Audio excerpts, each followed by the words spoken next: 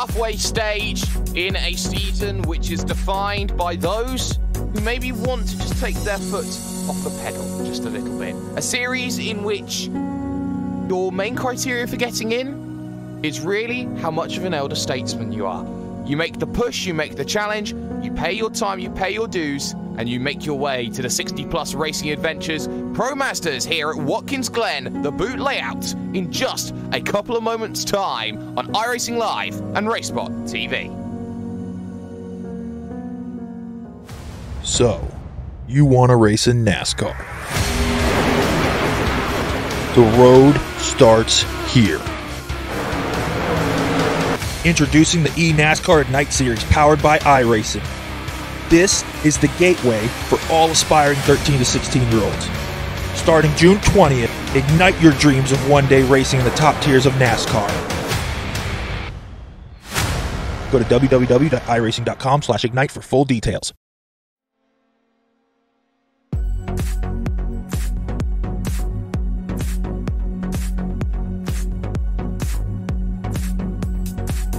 We are in Cam Walsh country at the moment, upstate New York.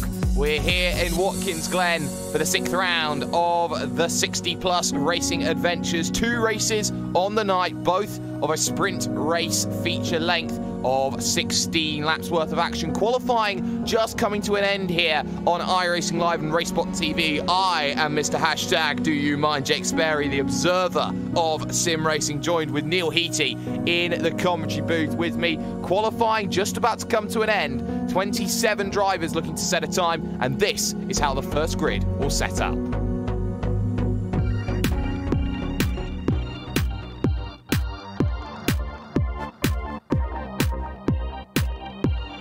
Donald Fitterer then on the pole, 143.282. He'll be joined by Jos van der Ven and Manning Grinnan, second and third. John Morgan will start this one from fourth position. Franz Brink and Jay Friels will start from fifth and sixth, with Joel Martin and Ramigo de Pasqua finishing in seventh and eighth in qualifying. Andrew Fiddler, a race winner in this series, starts ninth with Kenneth Baldwin in tenth. John Unsby and Richard Valley make it onto row six. Row seven sees Gerard Florison and Bob Coe uh, with Gianni Rispaldo and Bruce Poole on 15th and 16th positions. Kenneth Dummer and Richard Coulomb make up row 9 with row 10 seeing Paul Hamilton and David Riley. Paolo Bonacera will start 21st with Charles Gilly in 22nd. Ralph Kemmerer, William Stark, Jeff Cantor, Wallen Maltsby, and Larry Thomas round out the 27 drivers taking to this opening race. And well, Neil, it's a very, very difficult circuit. One where drafting opportunities are going to be massive in these Pro Mazdas. Everyone's going to be falling into these corners. We'll be on a rolling start for this one as well. So hopefully we won't see any Pro Mazda incidents like the one in Toronto just a week ago. Indeed, rolling starts here, and as you did point out, lots of very good drafting opportunities from turn one all the way up to the bus stop chicane. The inner loop is flat out, so expect to see some Daytona style uh, drafting here. But the real part of this track that sets uh, the cars apart is the boot. It is so, so difficult. So many off camber corners. So many corners that just go on forever and are so tempting to put the throttle on just that little bit early. And with how tight it is through there, not much grass before you uh, meet the Armco, a single mistake there could end your race. It certainly could here, Neil. And you look at this track conditions that we have out here today. Quite pleasant, has to be said. Mostly cloudy. It's 26 degrees in the air, 32 degrees on the track. Wind speed 2 kilometers an hour heading in from the north with a rising humidity of 55% just like any normal Pro Mazda race you would get on the iRacing service. 17 instants are available, but there is one big difference here in this series. There is no limit to the amount of fast repairs you may have, so you can bin the vehicle four times and still get another vehicle to get out and going again. But of course, the boot layout, some may argue that classic boot layout will be a little bit better for overtaking Neil, but that chicane, oh, it's so, so tricky to get right. That train, that chicane, I should say, rather, very difficult to get right, especially when you're going to be in a pack, like most of these cars will be on the first lap. And of course, there's a quick right, left, right flick, but of course, there's really no respect. Uh, relaxing in that final uh, right flip because you're straight onto that carousel, which is deceptively fast most of the time, diving, banked, downhill, right-hander, an incredible, credible corner to get right if you do. But as but there is a little bit more strategy in this race, as the races require pit stops, both of them. So to see what uh, these drivers do in terms of strategy when they take that pit stop. Will they take it early to try and get in the clean air, or will they try and take it as late as possible? Well, we will see, of course. The key thing about drafting circuits is you've got to get yourself a drafting partner as they head to the toe of the boot. A different line on the outside, some may argue, use that as part of the racing line, as that has been changed over the years and adapted and molded so that it works the way they have.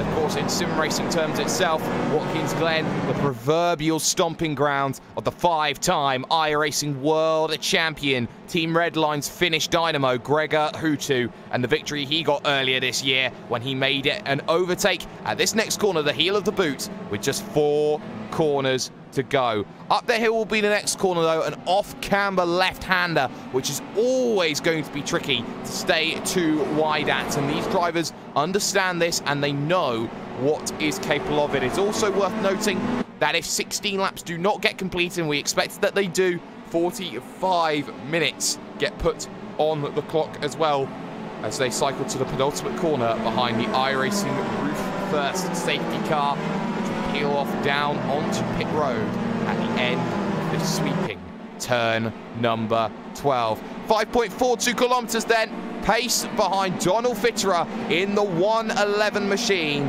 Pace car dives down onto the lane, and he's going to go early. Green flag flies, and we are underway at Watkins Glen. Run to the 90 turn number one. Fitterer is already clear. They're too wide. John Morgan, Manning, Grinnan as they look to hit themselves on the brakes. Franz Brink looking down to the inside as they fan through this opening section. It seems everyone for the moment is clean as they all charge up through the S's for the very first time, making that run. Two-car breakaway already as Jos van der Ven, who is always up near the front, now looks to attack the race lead, take it away from Fitterer, who immediately goes on the defensive into this next section, and it's a check up slightly from Van der Ven, who decides he does not have the power to make the move into the chicane, Neil.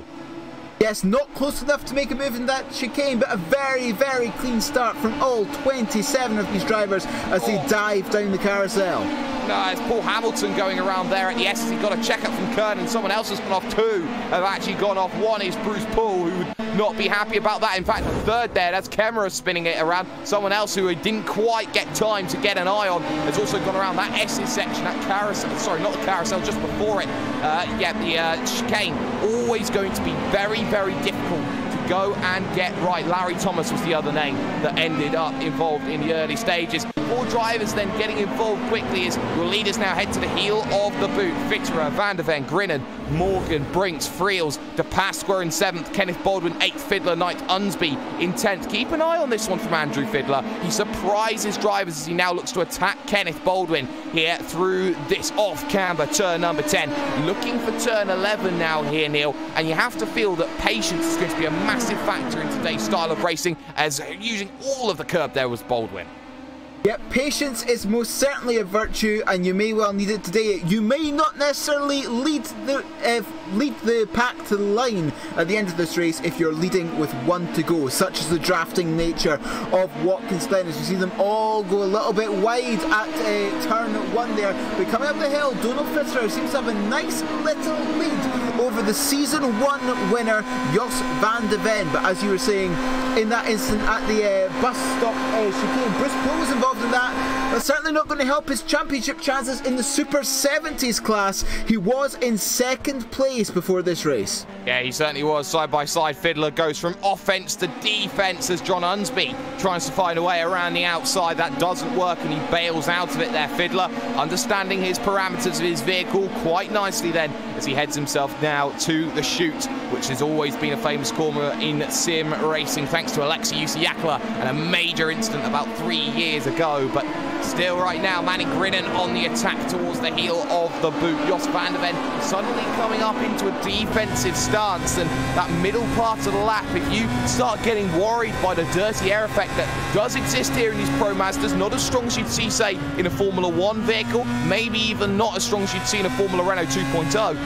You see here, Neil, how Manning Grinnan suddenly just loses a little bit of time, and Van der Ven finds a lot coming through the heel of the boot to halve down the gap to Donald Fitterer.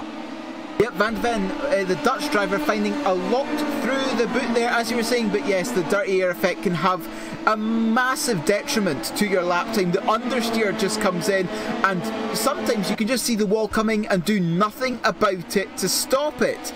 But it seems the leader of the race at the moment, Donald Fitterer, has pulled away ever so slightly. It seems the two behind him have been battling through the boot, and indeed the two behind him, Van der Ven and Grinnan, have a nice second gap or so over fourth place John Morgan.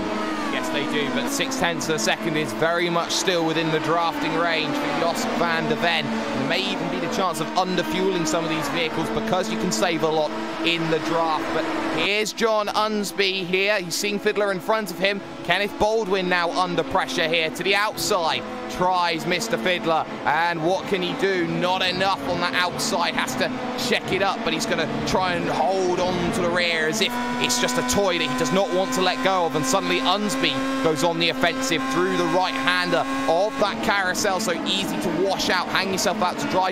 No opportunities yet to go and make that move. Keep an eye on this one fourth position as well here, Neil, because John Morgan is being harassed here by Franz Brink, and Brink knows that he's on the brink of fourth place.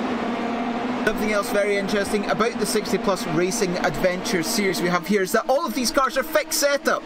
They all have the same setup, so uh, you can't uh, do it to say uh, be better in the boot or be better in the straights. You all have the same tools to work with, so it really is a little bit of um, well, it's almost totally reliant on driver skill here as well. And that's how we've seen Stefan Roskin, not here today this weekend, but how he's managed to get a perfect score so far 175 from 175. His closest uh, rival is Bill Lawrence, who. Uh, just seeing if I can find him down the pack, and I can actually, so I don't think he's here this weekend either. No, he isn't. So opportunities for points to be allotted as now lap traffic starts to play a factor into the boot, into the 90, sorry, in there. Larry Thomas forcing Manning Grinnan to go incredibly wide over the grass. That's going to pick up an incident point as Wally Molesby gets around it as well. That has really checked up this field and created a little bit of a punch hole in the gaps. That's allowing John Morgan ever so slightly close this one back down in. Lap traffic can always play a factor, and it did there in that situation. It's given Fitterer just that little bit of breathing room, and now there is traffic in between. I believe that is uh, Morgan and Brink now trying oh, to get past Molesby as there's an incident. Yep, contact behind is Jay Friels and uh, de Pasqua, who was in about seventh place before that incident. It looks like uh, he has uh, came together with the car that was in sixth place but they are coming all the way down the order again. But having a look at all that traffic along the back straight towards the uh, inner loop there, almost looked like a 150 mile an hour traffic jam. Well, it did look like a big traffic jam as John Unsby goes for a slide coming out of the toe of the boot. That was contact with Andrew Fiddler. Two into one didn't go on the exit, and all of a sudden there were a lot of worries. So now it's just starting to pick up here in this 60 plus Racing Adventures League. They're all starting to get a little bit aggressive as now John Martin is going to be the next vehicle to be put a lap down by your race leader, Donald Fitterer, as we look to head to lap five out of 16 out on circuit. The pit stop window happening very, very soon, as now this is going to change quite a little bit then in terms of this field. So Fitterer still leads. Van der Ven currently going around the outside in second position. Manning Grinnan in third. Now it's Morgan and Brink fifth, but now it's sixth, seventh, eighth. Uh, you're looking at Baldwin, look at Fiddler, and Gerard Florison now is into eighth position and he's up and over contact with Larry Thomas, the lap traffic. That one down at the 90, and Larry Thomas, who really didn't know where to go through that corner. It seemed it was pick a lane from Gerard Florison, had nowhere to go on the apex.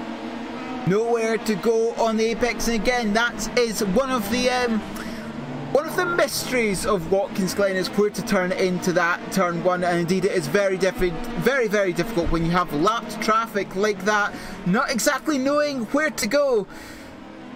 Uh, yes, it's just it's just sometimes one of these things, but could it be avoided? Very well, possibly. Very well, possibly. We've seen Wally Mosby also hit the wall. That one was coming out of the chicane, the bus stop chicane, but for now at least, Manning Grinnan has been dropped off of the back of the leading pair, Van der Ven and Fitterer. Van der Ven has been sat behind the entirety of this race, hasn't been in a position to make any moves, but I think he'll be certainly all well and dandy at the moment. Bob Kern, though, this one for a top 10 position now. He's fighting Richard Coulomb for position, and well, at the moment, it seems that Coulomb probably needing a little bit more kinetic energy to get a move on. Yep, Coulomb just needing a little bit, uh, a little bit uh, more speed out of that Pro Mazda car. But yes, just coming on what I believe is the uh, most difficult corner of this track, where the boot rejoins the NASCAR circuit. An incredibly difficult corner. It's off camber. I need to take it far slower than you than it initially appears. The Pasqua's engine has just given up the ghost at the heel of the boot. He is out of the event now and that's going to hurt, but he will be able to get back out and going, but he's got to take a tow, so effectively, no points on offer. Here's Jos van der Ven, though, looking at that race lead here on lap 6 of 16, tucked in the toe, moves to the outside to try and make the move on Donald Fitterer, and isn't going to get the chance, wasn't close enough to make that move. Really have to be following out of that section, those S's sections there, Neil, because you have to be within two tenths of a second, really, to try and be able to make that move. At least, yes, coming into uh, braking for that bus stop chicane, you've got to be incredibly, incredibly brave on the brakes, i.e. not use them, or be side by side when on, on the inside in order to make a pass into the inner loop there. But that's what Jos van der Ven is doing at the moment, is a little bit of psychology. Just sort of like making sure he's being noticed in the mirrors of Donald Fitterer and just trying to, uh, trying to force Fitterer into a mistake at some point. Donald Fitter at the moment has shown no signs. He's been stoic in his defence. Not seeing anything. There's a lunge down to the inside, though, at the off-camber turn number 10. But running very nicely around the outside was Donald Fitter. Van der Ven did not have much that he could do in that situation to try and get himself through. As still, we got other battles on circuit. Gianni Rispaldo under pressure. This is Richard Valley looking to try and find a way through in the number 69 machine against the 48 of Rispaldo. And Rispaldo at the moment doing a very good job of things as the 111 machine actually, Donald Fitterer decides it's time to come down onto the lane here on the end of lap six, as does Kenneth Baldwin. Yep, uh, coming in on, as you said, at the end of lap six, Perhaps deciding that he wants to try and find a little bit of uh, clean air. Perhaps he's managed to see a place on track where there is clean air, but that has allowed Jos van der Ven to take. Um, sorry, that's allowed Manning Grinnan to take uh, essential lead of the race over Jos van der Ven as uh, they come up towards the bus stop. Now, no passing there from Van der Ven, so perhaps. Uh, the Dutchman will decide to come in next time by uh, to try and uh, stop losing time behind Grinnan. Yeah, and all that came down to that final corner because Van der Ven, I thought, got caught out there by an early pit stop from Donald Fitterer. He went down for that inside, had to back out of it, and that always allowed Manning Grinnan to get himself up to the point. So Manning Grinnan knew and understood that he could get himself to exactly where he needed to be. But Right now, in the middle of a pit stop cycle, it's about getting the most consistent lap times and quick lap times out. In terms of where coming out has gone a certain Donald Fitterer, he's in a lot of clean air. Paul Hamilton, many, many seconds down the road as we will get a track map up with the difference between the 47 and the 111. Fitterer right now heading through the toe of the boot. Manning Grinnan, for example, is in the penultimate corner right now, and the question will become, will anyone decide to cover off the move of Donald Fitterer coming down onto lane? The is going to be no. I reckon they're going to try and run their fuel tanks dry and get a quicker stop on the lane. Yep, trying to uh, trying to go to the very end of what the fuel tanks allow is another very good strategy. Perhaps uh, perhaps the 111 car of Donald Fitterer decided to um, start off light, then take a full tank at the pit stop. Van der Ven, uh, Grinnan, uh, John Morgan, for example, he's yet to come in as well, deciding to start off with a full tank, then uh, pitting just enough for a splash and dash to make it to the end of the race. This is again where this pit strategy comes in, and it's going to be very interesting to see who triumphs in terms of this, but we probably won't be able to see the results of it for another four or five laps or so. And I'll tell you who will be losing out. It'll be the 53 of Franz Brink, who missed his box on the lane. So that's going to be an issue. Lead pass, though, as Jos van der Ven has made his way through. Got to keep your head on the swivel here because you look at what happened there with Manning Grinnan. Didn't have the pace, just pure draft from Jos van der Ven, who stayed committed. And it was a little bit of a lean out from Manning Grinnan. Didn't want to leave any room for incident on the circuit. He prioritises finishing the race first rather than getting himself back out. And in terms of where Franz Brink came out in comparison. He came out behind Kenneth Baldwin by some margin as they're side by side. Gianni Rispaldo and Bob Kern both have come in and made a stop. They're both looking at this one, and Rispaldo on the outside is going to commit and make the move stick as well. Good work from the Italian as he now moves himself up into 16th position. Up into 16th place now for Rispaldo. Points are awarded to the top 24. So even if you are a lap down or so, it's always worth keeping on driving to get those uh, valuable, valuable points. But yes, Gianni Rispaldo managed to uh, get past there, up into 16th place. A nice job to make it uh, work through the bus stop. Certainly has. Jos van der Ven, though, is not safe under pressure through the 90. Little bit of a wiggle, though, as he heads through the corner. He was trying to stay tight through that section. You can run wide out onto the tarmac section that they have, the runoff, but sometimes it doesn't work. Through turn number three now, and up through the gears at turn number four at 225 kilometres an hour. Manning Grinnan pulls out early, looking to go to the outside to make the move on lap number nine, and he is going to go around the outside. Van der Ven will let him and will take the race lead back once more. So Jos van der Ven dropping backwards into second position. I also saw John Martin run into an incident as now Jared Florison and Andrew Fiddler come down onto the lane. Jay Friels as well has been on the lane for a very, very long time as well. So a lot of drivers then have run themselves into a couple of issues as the pit stop cycle continues. Yes, just a couple of issues, but I think what you saw there for that pass for the, well, I'll say the provisional lead at the moment, because you just do not know where Donald Fisher is going to come back out again. But uh, this pass for the provisional lead with Manning Grinnan, Jos van der Ven, uh, very, very smart head by just allowing Grinnan that place to try and, uh, so he doesn't lose that much time, because if you battle, that could well be your chance of the uh, win gone because, uh, of course, uh, Donald Fisher will be in clean air at this point. So we've got to see what these two drivers do is they come through the penultimate corner now. Will either of them come into the pits? Coming around the final corner, a very, very fast corner, apex speed of about 110 miles an hour, and Jos van der Ven decides to pit, Manning Grinnan not. Now you could see how Van der Ven was slowing down through that uh, that final corner, sorry, to try and make sure that he was on the lane as quickly as possible. He had been losing time. Grinnan's last lap was a 44 flat. The lap before for Donald Fitterer was a 43.9. He had that gap under 30 seconds on the racing circuit. Keep an eye on that 111 as we get a map comparison between the 167 and that 111. Here's Fitterer coming out to the final corners. Van der Ven in the penultimate box, getting the fuel, hoping to get out going. But here comes a certain Mr. Fitterer who will go breezing by into the 90 turn number one. And Van der Ven has lost a lot of time on that stop, and he was getting a little bit too pedestrian, in my opinion, there, Neil, to get himself that opportunity, and it's cost him about three seconds overall. Yes, it's very, very difficult when you're battling someone to try and keep up the same lap times as someone who is in clean air. And that's exactly what happened to Jos van der Ven. Lost all that time because he was battling Manning Grinnan throughout that uh, central portion of race one, and that's allowed uh, that's allowed um, uh, Donald Fitterer to have that about three three and a half second lead over him. Now Manning Grinnan has a lap or two of clean air without having to worry about Van der Ven. The question is when will Grinnan come in, and where will he be in relation to the 167 and the treble one? Well, we will see Manning Grinnan at the moment. He's heading himself to the penultimate corner on lap 10 of 16. It's five to go.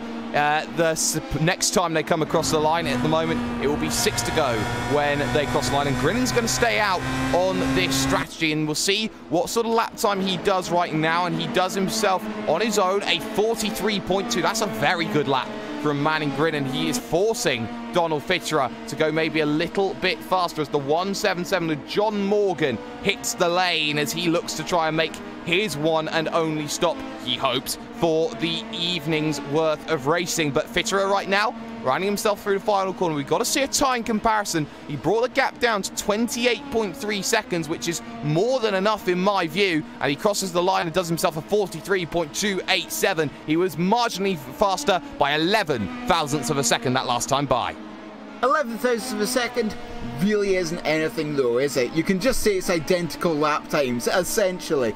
But coming up the hill now is Donald Fitterer in the, that treble one car, that right-handed turn four still flat out now, trying to spot his uh, braking point for the bus stop chicane. Of course, it is really not that big a braking point, doing it from about 145 miles an hour or so down to 105. So really, that uh, that bus stop chicane is just a mere comma to the rest of the track, if you will, uh, just before they get to the uh, the uh, almost flat out carousel. But yes, as you said, 28.9 seconds the gap between the two of them as they came across the line last time. Will Manning Grinnan come in this time? He's just rejoining the short circuit coming up to the penultimate corner. Well, we will see if he dives down in. We've also got a battle on circuit right now. John Morgan, who has just come out of pit road.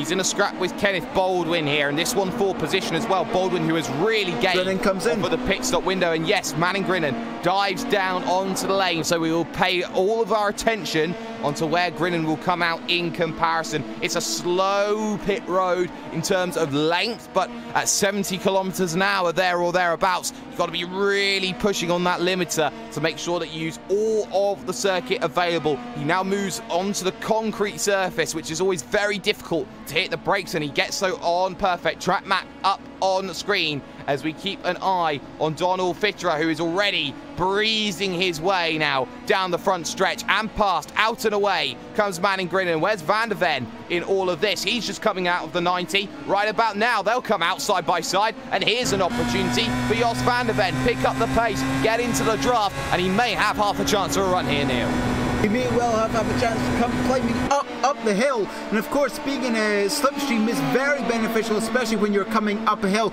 Moving to the inside is the Dutchman, the season one champion. Side by side as they come along to the bus stop chicane. Will Manning Grinnan let off and let him have the place? Well, I say let him have the place. There's no such thing in racing.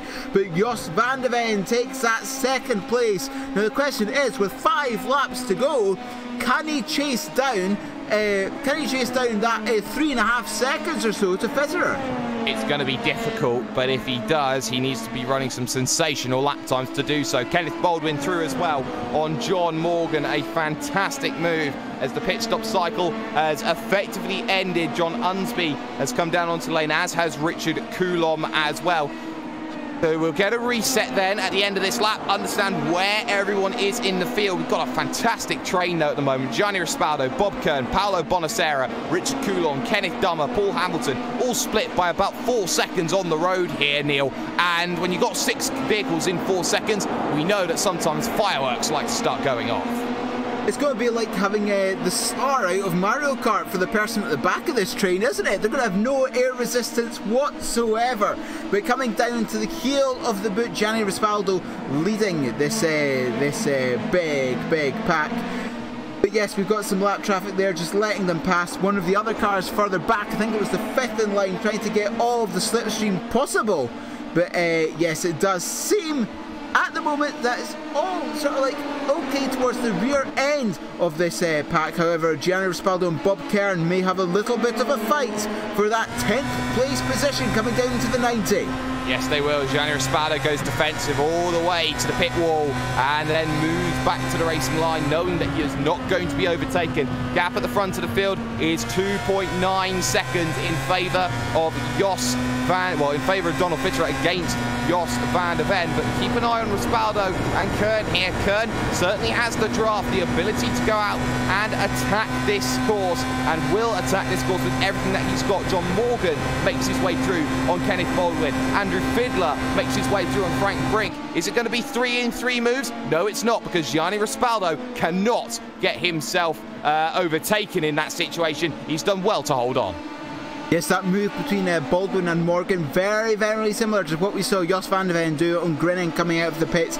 Got well up in path before even the braking zone for the uh, bus stop chicane. So very nice move there from uh, John Morgan. The question is, can Kenneth Baldwin uh, do anything in reply? But this long, long train you were saying down in ninth place excuse me, uh, coming up towards the heel now over the crest of the hill and down into what is a very, very deceptively steep downhill right-hander. That is the uh, heel of the boot. And it appears yet again that Bob Kern cannot find a way past Rispaldo.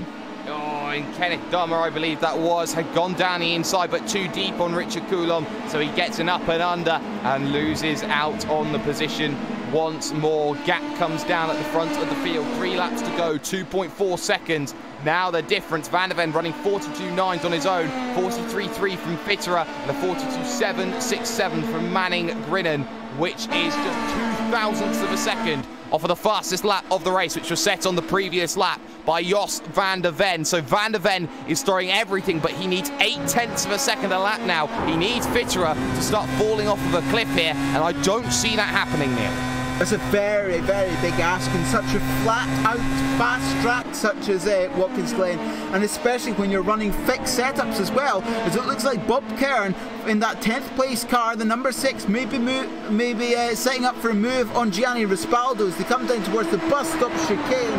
Not close enough that time round, but these two battling and psyching each other out has allowed uh, Paolo Bonasera to get closer and closer to the two of them. Well, that's very, very interesting. Of course, Bonacera and Rispaldo are teammates, so they'll be working hard together as Richard Coulomb loses the position to Kenneth Dummer in the end of that exchange. As right now, Jos van der Ven is hoping for one of two things. A, a technical fault on Donald Fitterer's machine, or a technical fault on his hardware. Either or is going to make sure that he makes himself get home. But Van der Ven knows that he needs a little bit more than what he's got capable at the moment. Popsicle sticks then will go in the air. Two laps remain in the opening race here at Watkins Glen. And for the moment, it's not what Jos van der Ven needs because Fitterer has found the pace. 2.2 seconds only. I think it's going to be a consolation race for second at the moment. So keep an eye on that one then as we head towards the final couple of laps, Neil. But he's still got some fantastic battles. Andrew Fiedler still not clear from Franz Brink. They'll not clear that gap about four tenths of a second as they cross the line as they just come out of turn one now. Certainly close enough for Franz Brink to have a shot at Andrew Fiddler uh, coming into uh, coming into uh, the bus stop chicane as it appears like Bob Kern uh, may well have had a little bit of an incident because he's just uh, came into the pits. In fact, no, I think he might be making his pit stop. Is he short? Has he underfueled that car? That's the only thing I can think of there for Bob Kern. So that's going to be uh, disastrous. And, well, he's going to be on for a long time, and he's probably not set his fuel gauges he's just either. Gone now, yeah. And he's just managed to get himself through. Spinner, though, that's Andrew Fiddler. Just talking about him in his battle, there was contact between the pair. Fiddler lo looped the rear end, and somehow getting around all of that was Franz Brink, who really had nowhere to go the way that Fiddler was spread eagle across the circuit there, Neil. Not much he could do. Watkins Glen is a very, very narrow track at the best of times, and certainly nothing he could do. Oh, as uh, Bonis, uh, sorry, uh, Gianni uh, Respirado. oh, I'm going to cut you off. Manning Grinnan's had an off. And that one happening at the chicane. So right behind Van der Ven, losing the rear, trying to apply the power back down into the tyres on the exit of the bus stop chicane. Manning Grinnan forfeits a podium as the white flag will now wave here in this opening race of the evening. Donald Fitterer with a 2.6 second advantage over Jos van der Ven, who is pretty much home and dry. John Morgan currently in third position, just driving a very respectable race here, but Franz Brink in what is sixth or fifth position now is under pressure for that top five because he's got John Unsby, who will take advantage of Franz Brink. And looking at Brink's vehicle, it looks okay for the moment damage-wise, but we'll see if he can hold himself off in the long and short. And for the moment, Unsby rattling through the gears, getting himself up the kilometres an hour, using the draft to his advantage, as now it's not quite defended just yet. Moving slowly to the middle of the circuit, Unsby picks the lane down on the inside, and I think Franz Brink doesn't have anything to fight that one. Great move from John Unsby. He moves himself up into the top five on the final lap then of this event, but it has been plain sailing at the front of the field for Donald Fitterer, who decided to pit in early here in this event to try and get himself a bit of fresh air and break the toe and the ability of advantage for Jos van der Ven. Van der Ven then had to fight Manning Grinnan throughout the majority of this race, and that was not helpful for either of them in terms of time. Fitterer has made sure that he's got himself to the perfect position possible as he rounds himself through turn 11 and finally the difficult turn number 12. The 111 machine of Donald Fitterer will take race number one as Jos van der Ven will come home in second. Fitterer is once into winner's lane. Oh, it's just contact for fifth place between uh, Brink and Unsby. Both of them are in the wall coming off of the boot. Wow, so both of them looking for the move. That was Brink diving for the inside, finding it second bit of respite, and he turns them both around. They both find the wall. I think Unsby hasn't lost a position at all, but a lot of positions lost for Brink, who is in that wall and effectively out of this event. So Unsby keeps that top five just but Andrew Fiddler six, Rispaldo, Bonacera just holding off Kenneth Duma. And there we see just how easily it can go wrong on the final lap. Yes, trying to do a little bit of a hero move, perhaps coming off of the boot on that final lap. You knew you only have that opportunity, perhaps, to get past uh, John Unsby, and it went terribly, terribly wrong for him. It certainly did, but classified results We'll get them up on your screen for them as the last vehicles look to charge over to the line. The final vehicle will be William Stark. But Donald Fitterer takes a vital, vital victory. He takes it by 2.3 seconds over Jos van der Ven. He made it plain sailing through the pit stop to get himself into position.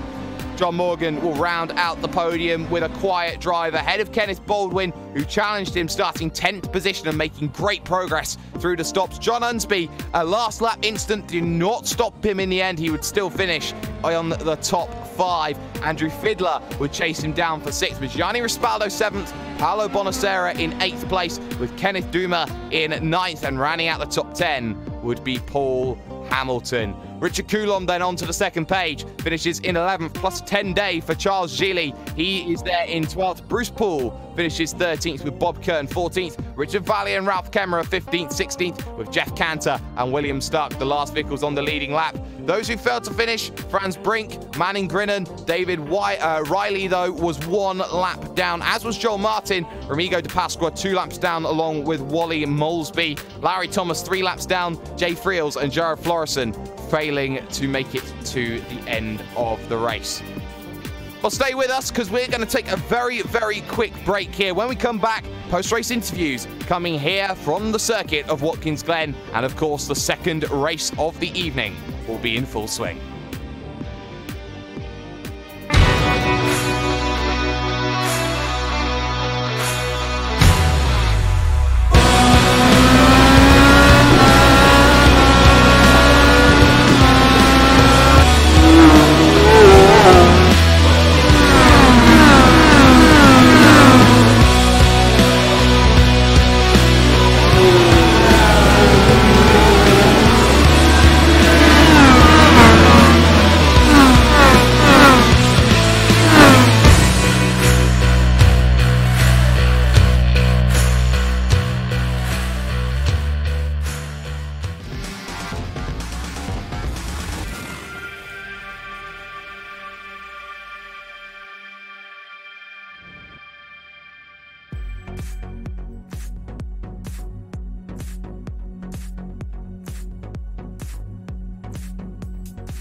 Well, race one proved to be very, very entertaining indeed, and a lot of drivers looking for a lot of positions with opportunities opened up with the top two absent in the championship. Only one driver, though, could come home with the victory, and that's the man standing by with me right now, Donald Fitterer. Donald, well, that one for you would probably be one of the most plain sailing races that you would have had the lead for the majority of the race, pitted in early to get out of Jos van der Ven's rhythm, and it seemed to work to perfection.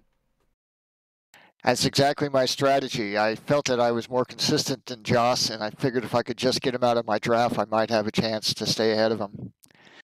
And how difficult is it actually racing at Watkins Glen? Because we understand that this track is a drafting circuit. We know that sometimes when it is a drafting circuit, drivers who are maybe slightly slow when it comes to overall lap pace have the great equalizer, as it is sometimes known.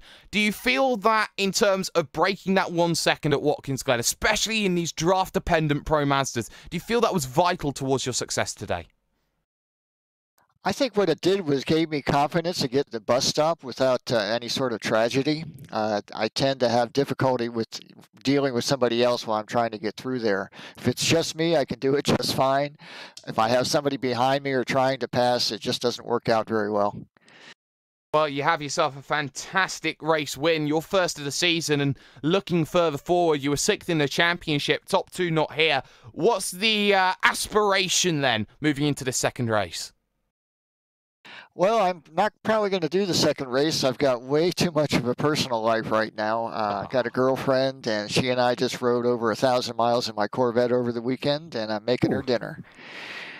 Well, it seems that it's a romantic weekend, and it's one where you get a victory, and you know what? You're going to celebrate it missing the second race classic when it comes to the 60 plus. Well, Donald Fitterer, then, uh, before we let you go, any shout outs to sponsors?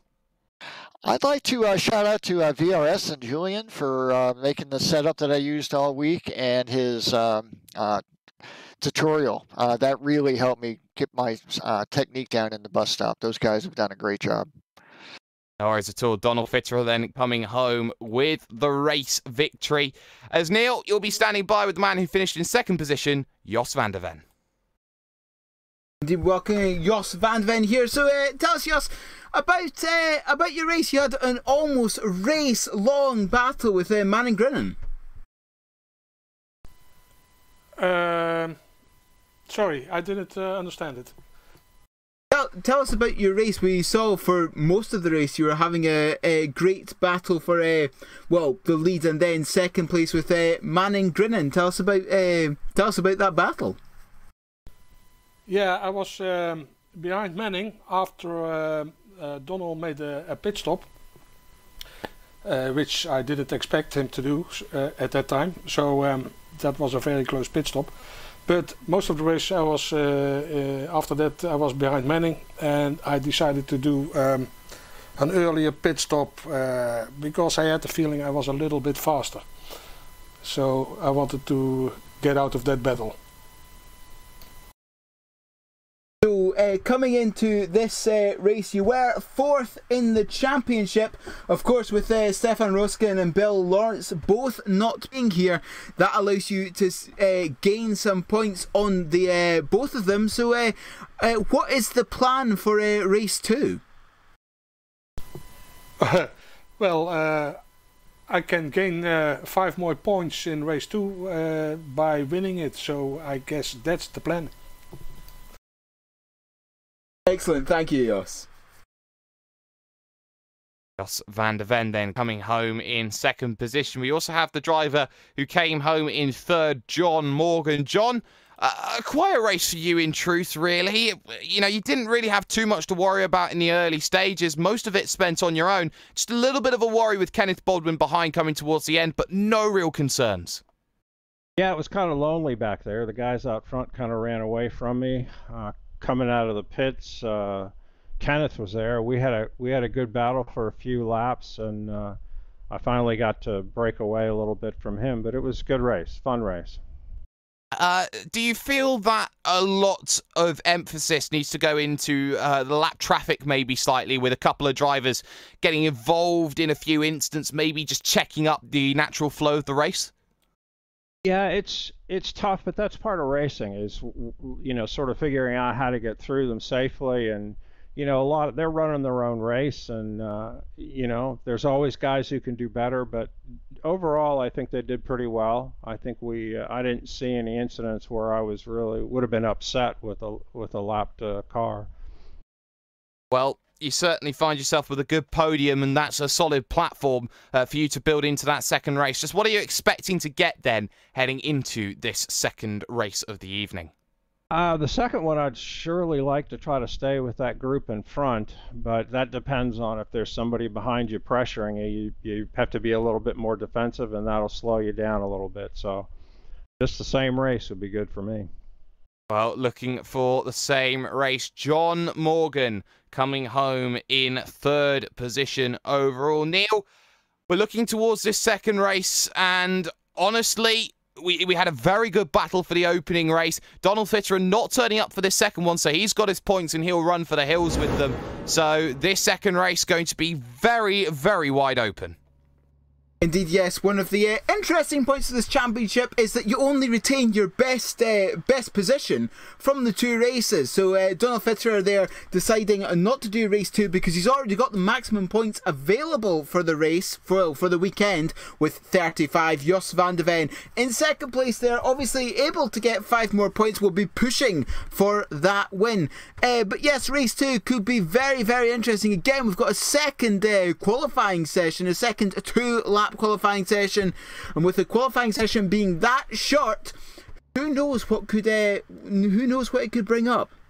Nobody quite knows what that is going to mean, but for the moment, we're going to step aside very briefly because race two will be coming up in the next five, ten minutes or so. Stay with us here on RaceSpot TV because this is going to prove to be an interesting race as we head over to our next session of qualifying and racing.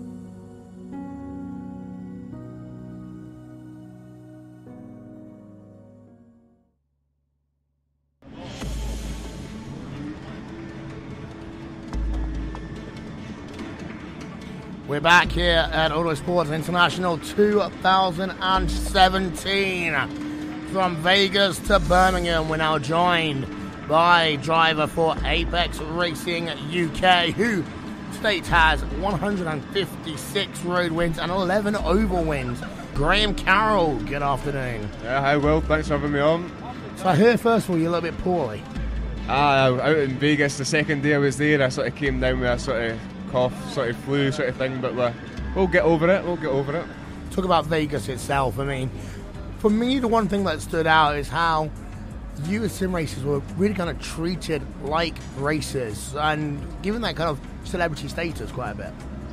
I think the suits we got given and everything, you know, it was just absolutely amazing. Um, then to get a teammate like Jose Maria and Sam Bird, and obviously everyone got their teammates as well.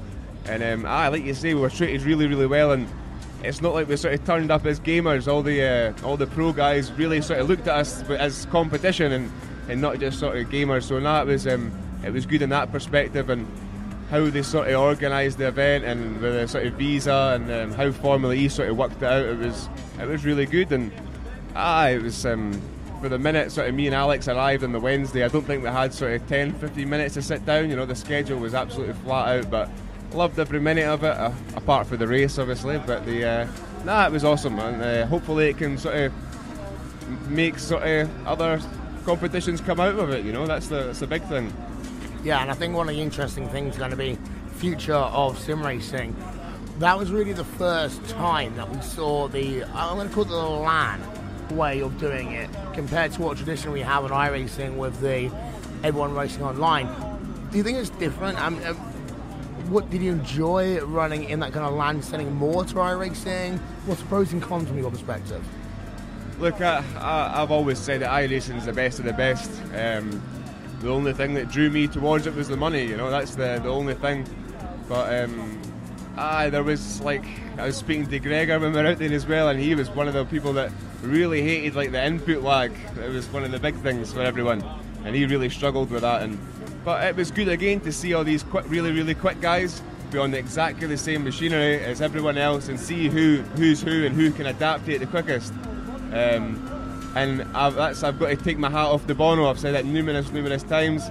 He drove absolutely outstanding, you know. Um, so I know it was um, there was some some really really good points, but there were some some not so great points as well. But for sim racing as a whole, I think we need to get rid of stop talking about the bad points about it and just talk about the positives because we're all trying to make this sim grow, uh, make, make sort of sim racing grow, and that's what we're we're all trying to do together, you know. So that's the that's the big picture here. Well, let's move on and talk a little bit about your iRacing career. And of course, the, the key thing that we're going to start talking about is you participating again in the 2017 iRacing World Championship Grand Prix Series. So for yourself, I mean, talking to Alex Simpson earlier on, and you are going to probably have the biggest team on the grid in 2017.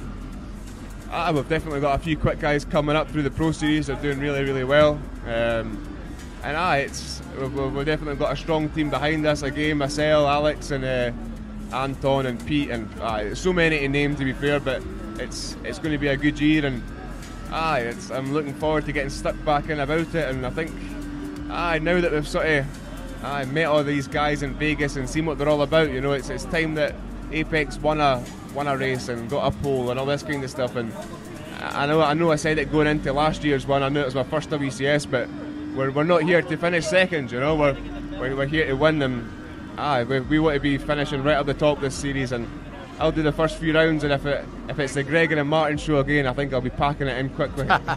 well, we're down to 12 rounds this season, so compared to the 16 that we usually use in the iRacing World Championship Grand Prix Series, and I've just been given a promo by Motorsport Auctions, a global selling platform.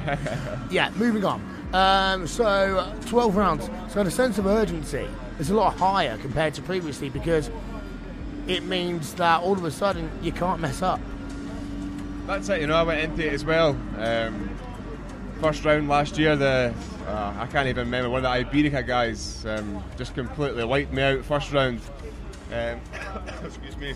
Um, second round, Phillip Island, I put my hand up, I, I had half a lap short of fuel. Um, and then Sebring, one of the Radicals guys, wiped me out. So, and then I went on a sort of bouncy uh, 10, uh, well, numerous top 10 results that would they really, you took the first three rounds out of the equation and just gave me a, an average top 10, I would have been ahead of Picala at one point, you know. So it's all ifs and buts, but when you look at it like that, that's what I want to make sure. I've had my, my bad year to start with, and now I kind of I need to know finishing and just points are the main thing. You know, you've got to learn off these guys that have done it for five years straight, and um, it's time to um, it's time to do well. You know. You talk about pole positions, of course. Radicals got themselves their first pole position last year in the Ice World Championship Grand Prix Series. NX Racing scored themselves their first win with Jenny Tamala in the World Championship Series. And one of the things that we saw with the McLaren is that in many ways it proved to be a leveler. So we, we heard all the stories of the Williams that oh, you know, the established teams have the advantage because they've been doing it for so long. The McLaren kind of wiped some of that out a little bit. So, do you think that you can get a pole position at the very least this season? Yep, I do. I do believe it now. It's time. Got some new equipment. Hopefully that'll help. And um, I know it's it's just the time. You know, we're not here to. Like I say, I'm going to do the first sort of, uh, say the first three or four rounds and, and see how we get on. But I'm not here to um, be going about in tenth place or even or even third or fourth place, but 40 seconds off the lead. You know, that's just wasted time kind of thing. So we're here to we're here to win and do well, and I think we've got the, the resources and the team this year to really do it. You know. That is a bold mission statement. Now we're going to hold you to that. Race victories, pole positions at the very minimum, then for Apex and for Graham Carroll. You talk about your setup actually. Talk us through the setup that you use for iRacing. That I use at home. Yeah. Well, I done a, I sort of got a little sponsorship for the HE pedals for going out to Vegas. Um, so I've got myself a set of them coming shortly, um, and I recently just bought a Leo Bodnar steering system. So I'd like to think, you know, the steering wheel and the pedals is probably the best you're going to get at the minute, and aye, there's nothing else apart from the loose nut behind the wheel that's going to make it go quicker, you know. So that's aye, I'm not that I've blamed any equipment in the past, but just this, this is the year that we need to do well, and aye, you know, if there's a if there's a peak in my sim racing career where I've been doing well. I think sort of this Vegas thing has really given me confidence and um, aye, really pushing me forward to do well, you know. Well, let's talk a little bit more away from the World Championship Series. First of all, what else are you going to be doing on iRacing in 2017? There's a chance I maybe do Blancpain.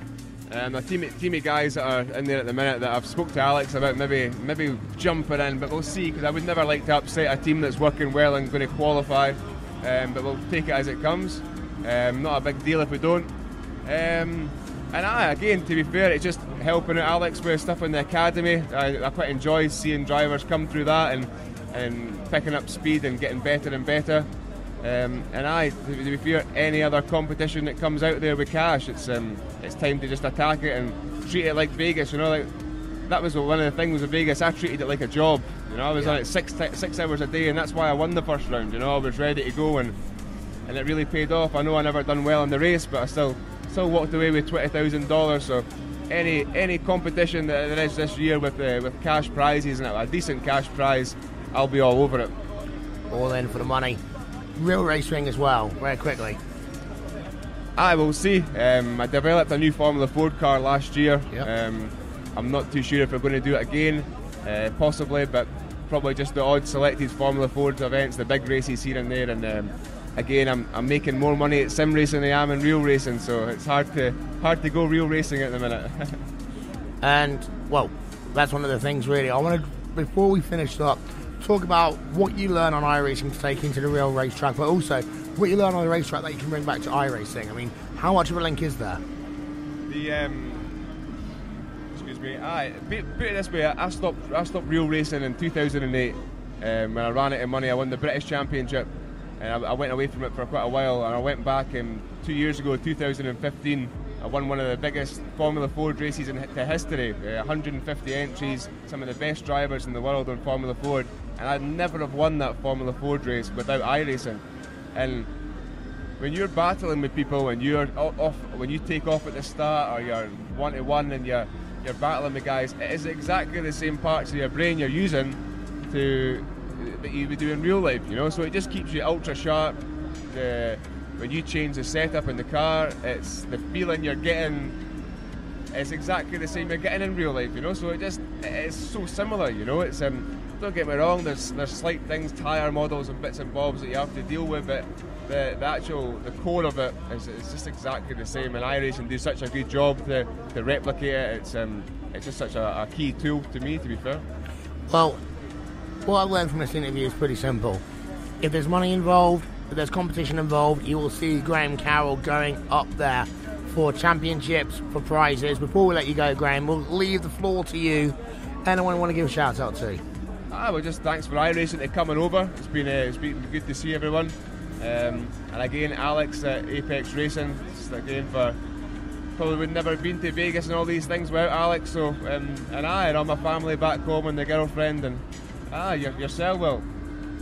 Thank you Cheers. very much. Cheers, thank you very much. And thank you for stopping by here on iRacing Radio, powered by RaceSpot. You can come and see us at stand 6510 all weekend long. iRacing Radio, powered by RaceSpot. We're live from 9am till 6pm on Saturday and Sunday. Tweet us, use the hashtag iRacing Radio. We'll be back with more a little bit later on.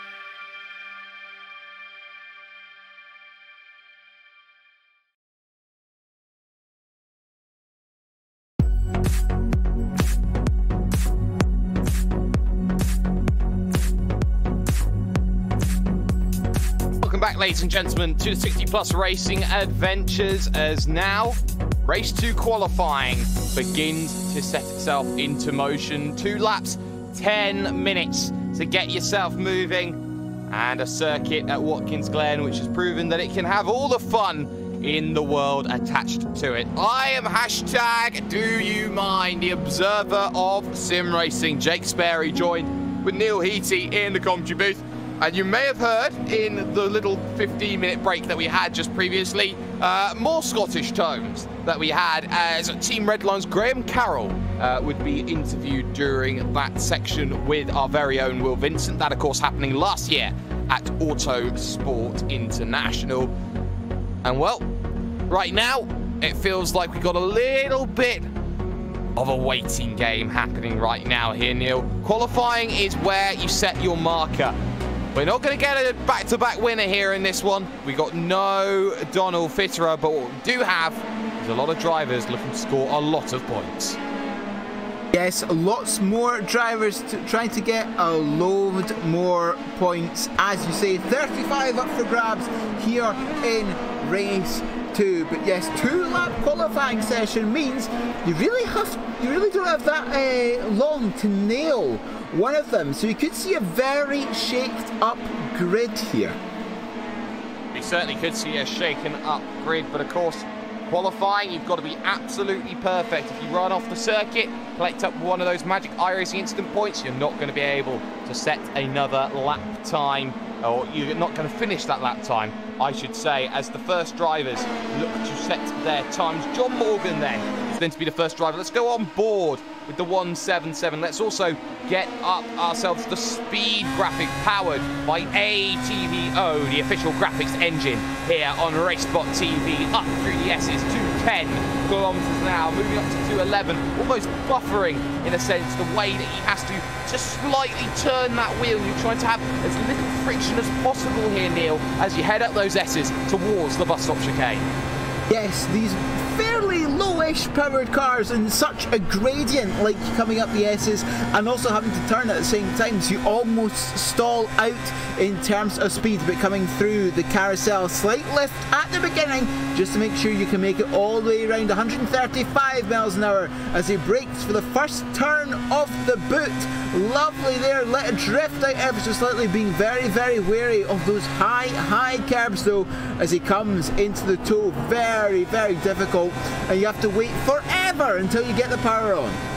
Yeah, this is no Hermann Tilke design track. You're not going to get friendly curves. You can cut by three miles. You're not going to get 15 acres of runoff area. Oh no, you've got to make sure you get it absolutely pinpoint perfect, almost street circuit-like in the appeal here, in the character makeup that you see of Watkins Glen through turn number 10, the off-camber corner, getting very nicely onto the curb, over uh, the service bridge, and now into turn number 11, slightly hitting the power at 200 kilometers an hour. Get on the brakes for the final corner. Very shallow in that line from John Morgan. He pushes very, very wide on the exit. Of course, you can't take any liberties with that exit as he crosses the line. 143.6 then, the benchmark for the moment. Paul Hamilton goes well. Bob Kern does a 43.7. Jos van der Ven, 143 flat, just like that. Puts himself on pole position with Kenneth Duma now up into second.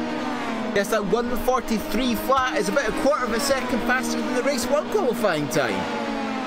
Well, that's all you need to know there. So certainly a lot of pace for Jos van der Ven. He's found a little bit more. Manning Grinnan, I believe, has had a crash on his opening lap, so he will be looking to set a time on his second qualification lap. So a lot of drivers looking to get some pretty big times in. Your top five at the moment is Van der Ven, Duma, Morgan, Brink, and Kern. Andrew Fiddler currently in sixth position going over the grass. He will not do any more laps when it comes to qualifying, but still, those times are looking to be sorted. As things stand, it will probably be Manning Grinnan who will set the final qualifying time of anybody in this field. So we'll keep an eye out for him. He'll be the last vehicle across the line. John Morgan, though, still third position looking to make that charge. Keep an eye, though, on Bob Kern in the number six, just behind him as he heads himself into the heel of the boot, trying to get up on the power here, Neil. And it's off camber, turn 10. We saw a big accident in practice, but we know that you've got to get that one absolutely right. We saw it in race one. Yeah, we, we have to get that corner absolutely right. We saw it in race one the last lap.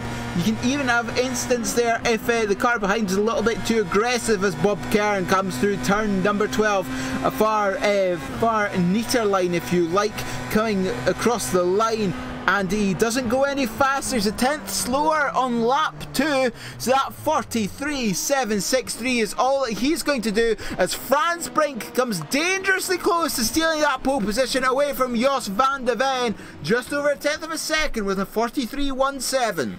Oh, and Jos van der Ven did not go any quicker either, so all eyes turn to Manning Grinnan, who has not set a lap time just yet. 43 flat to beat as he powers his way through turn number 11. All of the power needed and a little bit more on the brakes. Opens up the corner, maybe a little bit tentative with that curve on the outside, not using all of the track, but charges to the line. Manning Grinnan does a 43.163, moves himself to the front row, but Jos van der Ven for the moment at least, is going to be safe. The only driver who can now affect things is Gianni Rispaldo, but Rispaldo certainly hasn't shown any inclination of pace so far this weekend. Aaron Grinnan is on his second qualifying lap now, coming out of the S's across the top of the hill at 220 kilometres an hour, coming down towards the bus stop. As Gianni Rispaldo, as you said, the other car who was uh, quite strong in race one, just coming out of the toe of the boot now. And of course, only two laps to set. Everyone else has set their lap time. Someone like Jos van der Ven will now use the remaining time for practice to make sure that he's got his lines A and OK. Gianni Rispaldo then making that charge he heads himself into turn number 10. He has another lap, though, after this that he can use, and he's got time here. It's 10 minutes, the cut-off, not 10 minutes, and you get yourself uh, time to finish your lap in this style of closed qualifying. So Gianni Rispaldo rounds himself through the final corner, makes the charge then to the line, and we'll see what sort of benchmark he can put in. And Rispaldo across the line does himself a 144 flat so that puts him in 15th position at the moment. And currently, only two tenths of a second, even a quarter of a second, would put him inside that top 10. So he knows what he needs to find. It's a very, very condensed grid right now. The top 15 split by one second as things stand. Incredibly, incredibly close grid here at 60 Plus Racing Adventures as Gr- Manning Grinnan comes out of turn 12, coming across start finish line. What is his lap this time around? I don't think he's going to set one here, no, I be don't honest. think so. No. No. I think he, he must have got a 1x in that lap, I believe. I believe he's out of laps, so I don't Ah. think the times are going to count for Manning Grinnan. So Grinnan not going to get anything more than that. So it will only be Gianni Rispaldo who will set a time here, Neil, as he heads through the chute. Yep, Gianni Rispaldo heading through the uh, heading through the chute down towards the toe of the boot. Very, very difficult corner. He's done quite well to keep it on the concrete on the inside, just washing out ever so slightly there. I could hear him having to make a little lift. Yeah, he certainly did have to lift there, and that's not going to be ideal for Rispaldo, who hits the brakes, finds his markers, and heads into the heel of the boot. Nice and tight there towards the curb. That was a perfect corner from Gianni Rispaldo as he now looks at trying to open out the corner, but he just can't get that vehicle into where he needs to. So Rispaldo, again, just having to miss slightly a few corners. That's going to cost him maybe a tenth every single time he misses an apex and he heads through the final corner, hits it nicely, tries to get the power down, not smooth, had to take two stabs of the throttle as he charges his way over to the line in the number 48 machine. He does go quicker, but only on time. He was seven thousandths of a second off of finding himself more positions. Everyone done in qualifying grid as follows.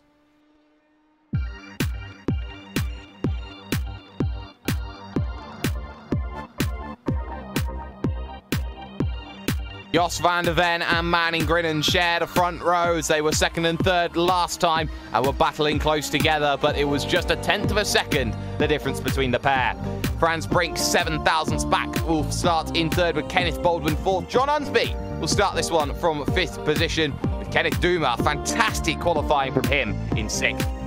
John Morgan will start seventh with Bob Kern in eighth, with row five consisting of Bruce Poole and Remigio de Pasqua. Row six sees Jay Friels and Andrew Fiddler as Joel Martin and Gerard Florison will start 13th and 14th, both having races to forget in race one.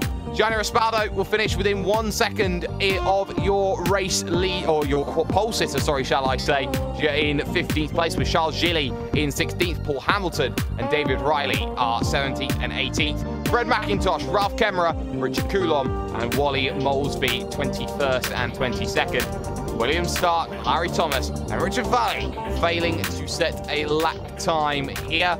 And once more, we will have one pace lap to set off proceedings.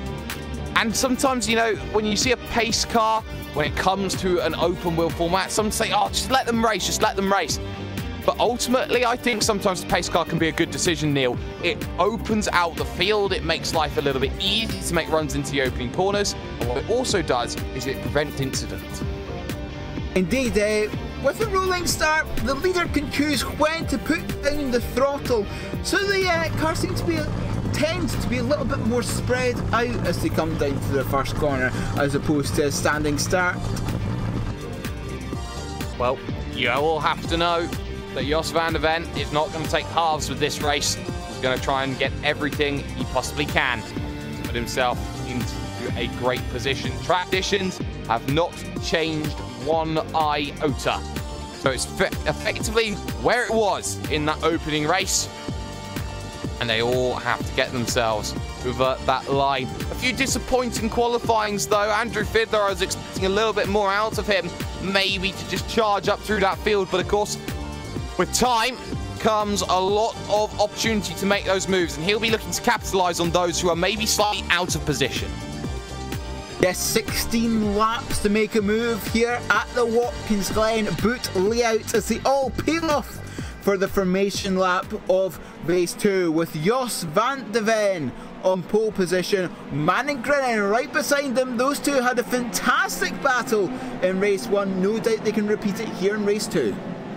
No doubt indeed, but that comes down to how they drive and for the moment at least there's going to be a lot of anticipation when you roll off on this start and well been looking at these drivers, all thinking about how this one is going to play out. I think a lot of drivers know that they just want the clean finish, clean result, try and gain on some positions and some points that they didn't get in the opening race. But they will understand that if they do crash out of this one here in the second race, they do have, uh, shall we say, a pickup. So would you say that promotes maybe more aggressive racing here in this second race, knowing you've got a result in the bag? I think perhaps uh, between the people who were, say, 10th or lower in race one, of course, it is your best result from these two races that go count towards your championship. So for perhaps those who felt they were under felt they underachieved so perhaps those who were involved in instance in race one are going to be battling even harder here in race two but in terms of the front runners such as Van der Ven, Grinnan, Brink, Baldwin, uh, John Morgan they might be taking a little bit more easy as they know they've got a good points haul in the bag already. If they get more points, so be it. That's fantastic, but it's not certainly the end of the world. No, it's certainly not the end of the world at all. So, Jos van der Ven, just about getting those points. He came into this event maybe just a little bit further down in the championship than maybe he would have liked. He has certainly met his match over the course of this season so far. Surprising to hear that actually uh, out of Van der Ven, see him so much down in the championship as far as things stands. He comes into this one, uh, Jos Van der Ven, a lot further down than many people would have expected. Fourth behind John Unsby.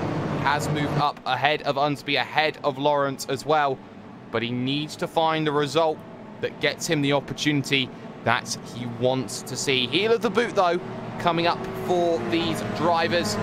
someone like Kenneth Baldwin, who was very, very impressive, starting 10th in the opening race, starts this one from third or fourth position on the grid as we believe that Franz Brink there on the outside could have a really good shot at this one, has certainly looked aggressive through the race and is not afraid to make that move. Of course, we saw that last lap instant from him. We'll see if that turns into something as the pace car rounds himself through the penultimate corner. The iRacing Roof First safety car of all things. And don't forget, ladies and gentlemen, you can get social with us here on RaceSpot TV via Facebook or the Twitter machine.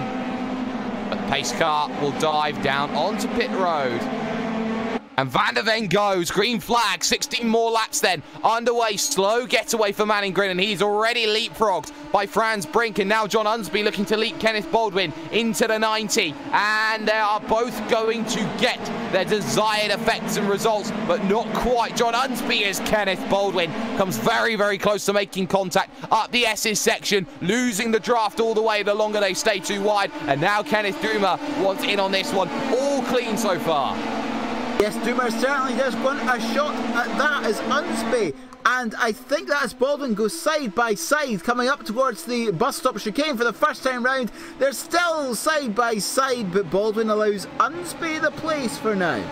For now, indeed, as the racing looks to just heat up slightly as now Manning Grinnan will try and get back at Franz Brink. This one for second position. Defensive line taken by Brink into the chute. That will compromise his exit run over to the toe of the boost. And constantly are looking to set this one up corner after corner after proverbial corner.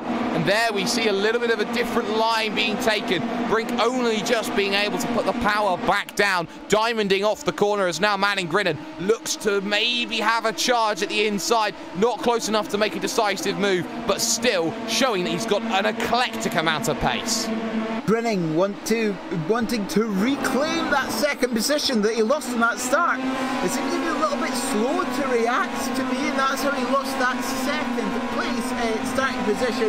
But yes, coming through the penultimate corner for the first time now, the turn 12, the wall right there on the outside, ready to suck you in if you make a little bit of a mistake. But it seems that the top uh, 10 or so have done no such thing. Jos van der Ven leads the first lap here in race two. And we already start talking about strategy here and who wants to make a move, who doesn't now as draft becomes oh so vital for a lot of drivers in this field. Andrew Fiddler, for example, who's looking to get around Bob Kern to move himself inside the top 10. Not really too many movers in the early stages, but your top five are now breaking into two packs, one of three, one of two. And now here's the look from Franz Brink, who dives down to the inside, goes for the gap that didn't really exist. And now look at this around the outside, tried Manning Grinnan, not going to find it. Franz Brink with a fantastic move, prizing the gap open like a thief. He forced that Pro Mazda car into a gap that was about only about three quarters of a Pro Mazda width. I have no idea how he managed to do that. Going right on the inside, almost getting those right hand wheels on the grass under braking for the bus stop chicane.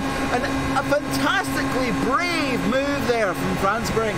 And Franz Brink now trying to break away from Jos van der Ven, trying to get as many points as possible. John Unsby on the rear now in fourth. All of that checking up has brought the train to become a train of five at the front. To keep an eye on what happened with Andrew Fiddler, he definitely did get past Bob Kern, so he's now up inside of your top 10. Four, well, three vehicles on pit road now as William Stark, Wally Molesby, and Fred McIntosh all from the rear of the field. So they've been involved in a major incident towards the back. McIntosh calling it day done. So the rear of the field not looking very, very comfortable at all with this one. But right now, Kenneth Duma working hard. And actually, in comes Kenneth Baldwin here, who I think probably would have a penalty in this situation, or he's put qualifying fuel in. Um, I'd say it's a fairly brave move to pit in at this point. 14, that's Van der Ven's gone the round. Oh, second no. place.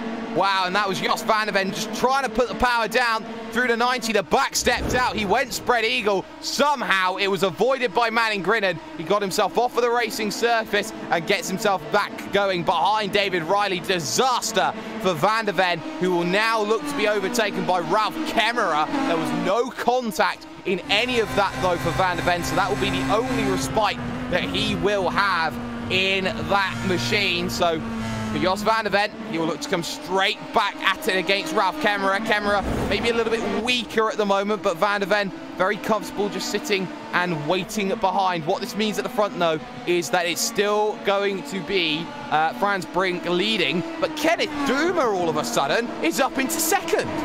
Yes, Kenneth Duma up into second after Manning Grinnan had to take some avoiding action from the spinning Dutchman there at turn one. But uh, everyone checking up for that incident means that Kenneth Duma has got into second place, but then it's everyone for second behind him.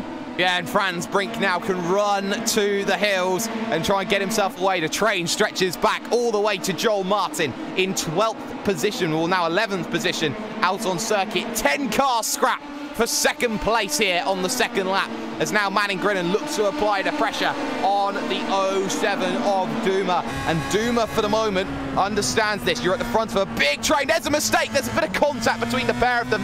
Duma now having to check up, and that's going to drop him down the train. There's one position. There's two. There's a third, and probably a fourth as well, as Fiddler's going to find his way by as they make the run to the 90 make the run to the 90. Indeed, that small, small mistake, especially when you're in such a big pack, which you get like Kieran Watkins down in these low-powered cars, it is extremely, extremely costly. He was in second position before turn 12. He's now down in sixth. Well, it goes just like that, and Bob Kerr his teammate under a lot of pressure. Here's Bruce Poole looking down to the inside, trying to find something to happen. And for the moment, he's got a nose, he's got a car length alongside. They'll go too wide, and he'll now have to open up the corner because here comes Jay Friels looking for an opportunity around the outside of the carousel. Contact. Don't often make it happen, and there is contact. There's Uh, the Pasqua Pasqua. going around. Yeah, De Pasqua going around at uh, on the carousel, and I believe it was contact with dropping like a stone Kenneth Duma.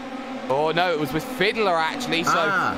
there was Fiddler. He was on the inside trying to go through. Not enough room on that inside, but not enough room really being given there, I felt, by De Pasqua. So contact there sends De Pasqua off. Not what he wanted as he was having a fantastic run, up five positions at the time. So now they've just got to calm down, start working together as there's a big lunge from, uh, I believe that's John Martin on the lap traffic of Molesby, and there's an instant behind. Off goes Gerard Florison, off goes Richard Coulomb in all of that one, and they were checking up there. That was all Florison versus Hamilton in the end, and Hamilton just carrying a bit too much there. Florison maybe a little slow on the apex.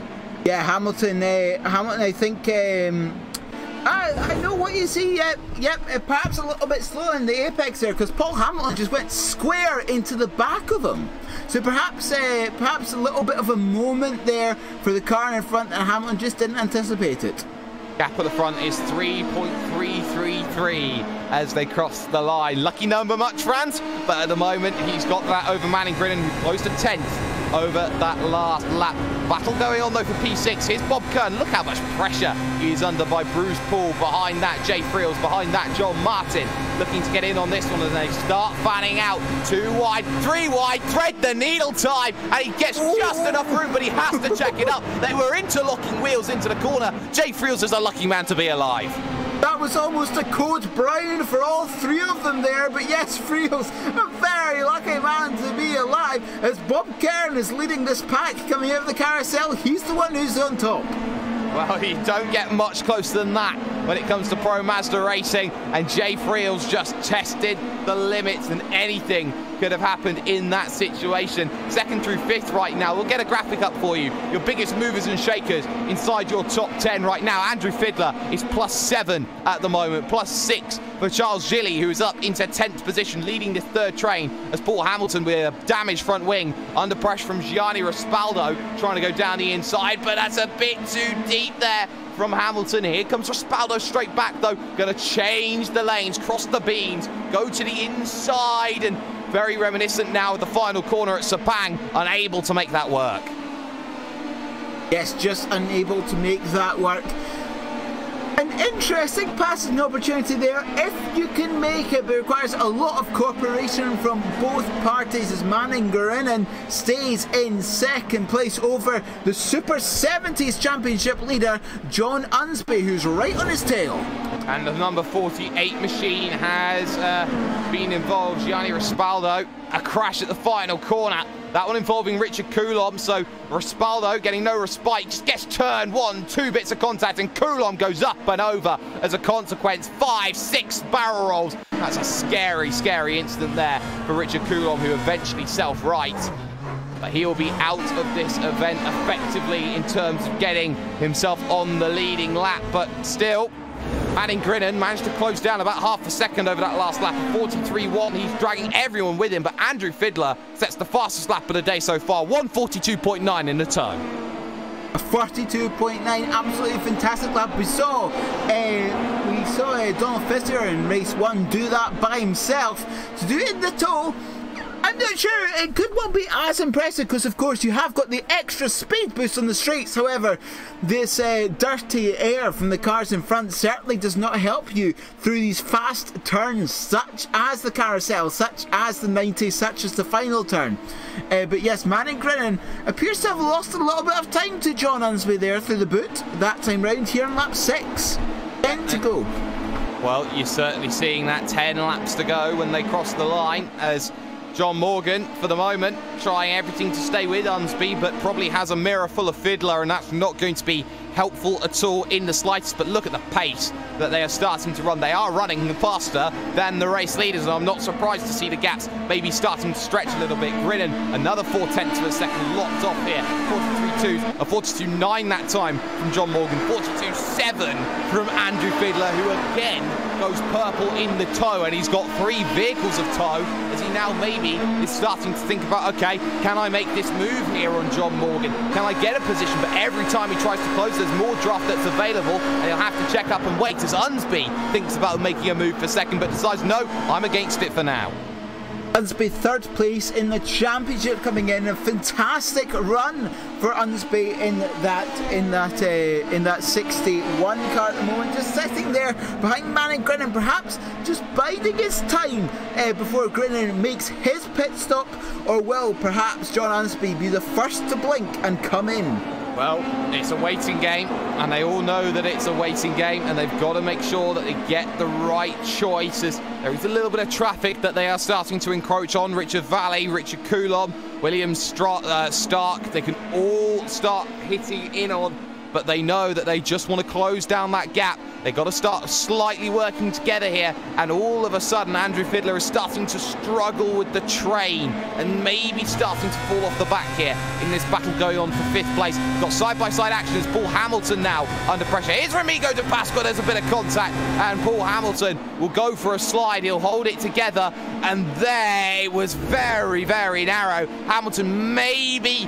had a little bit more room he could use, but ultimately he loses the position ultimately losing that position as you said and yet the top five still not coming in for their pit stop. I thought Andrew Fidler might have done to come in to get some clean air, but he's deciding no, he's going to stay on the rear end of the pack in that 101 car and that pack closed down nine tenths of a second on that last lap on Franz Brink, who's starting uh, to be on the brink of losing that race lead. He is under so much pressure here, and you're starting to see his lap time seize up a little bit in terms of times. He did a 43.2 on the second lap. Well, that's starting to fall away now. 43.6, 43.6, 43.9. His last three lap times that he's got. Compare that to Manning Grinnan. 43.1, 43.2, 43 flat. Certainly a lot quicker right now is Grinnan, who is showing that pace to be a leader in this event. Keep an eye on Van der Ven as well, further back in the pack. He's currently in 17th position, chasing down Kenneth Duma at the moment. But for now, at least, Frans Brink under immense amounts of pressure as now John Morgan starting to drop back from John Unsby. He may think about pitting. Indeed, perhaps just trying to get that little bit of a gap so he uh, so he can come into the pits unhindered. But yes, uh, Grinnan taking almost a full second out of Brink that previous lap as he come and rejoin the short track uh, coming down towards the penultimate corner. The question is, is any are any of them going to come in this time round? We're about to end lap 8, which means we're just at the halfway point of the race. And it looks in. like Frans Brink is coming in. Yeah, and he was using all of line in. He wasn't going to be aggressive and late go on to lane. He used all of the line, and this is going to allow Unsby here a chance to go down to the inside as he battles for the race lead with Manning Grinnan. Almost carbon copy of Grinnan versus Jos van der Ven. He makes the move, but has he compromised himself now on the exit because the run will go all the way to Manning Grinnan up the S's section, and there's just about enough room as they head to turn three. Room being given by Unsby, who checks the run, and that's going to allow Manning Grinnan a chance to go straight back, but the fourth corner always favours the driver on the outside through three. And now here we go. Battle of the bravest. John Lacey, battle of the late breakers. Latest breaker is certainly John Unsby, and he holds on with a fantastic move. A fantastic move there from Unsby being set up all the way from turn 11. Getting a good run out of there through 12 and be able to make that pass into turn 1. But Manning Grinnan is not uh, losing that lead lightly. He tries to go around the outside of the first corner in the boot. That'd be a very, very impressive move if he could uh, pull it off, but indeed he does not, and that allows Unsby to continue in the provisional lead of this race. Yes, but you have to remember they're all fighting off against Franz Brink, and every time they go side by side and check each other up, it allows them to get back into this one. I wonder if anyone will decide to play a game of chase and get themselves down onto the lane as soon as possible. Into turn number 10 then, and a big wide line from Manning Grinnan trying to open up the exit, potentially towards turn number 11. And you also got to be wary about engine temperatures as well in these sorts of vehicles. It's so easy just have that engine overheat on you. So I think everyone being a little bit wary and Grinnan on cue dives down to. He gets joined by Fiddler, who is so much more aggressive. Indeed, the two of them seem to come in on the at the end of lap nine, just seven laps to go for uh, for these cars now here at Watkins Glen. And this race is almost gone in a flash. John Unsby still in the provisional lead of this race, and I say provisional because he is yet to make his pit stop.